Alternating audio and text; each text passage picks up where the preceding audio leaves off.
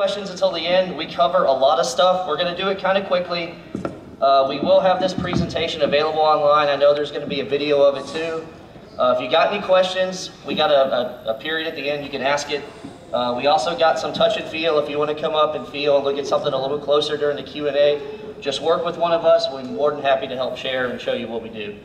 Um,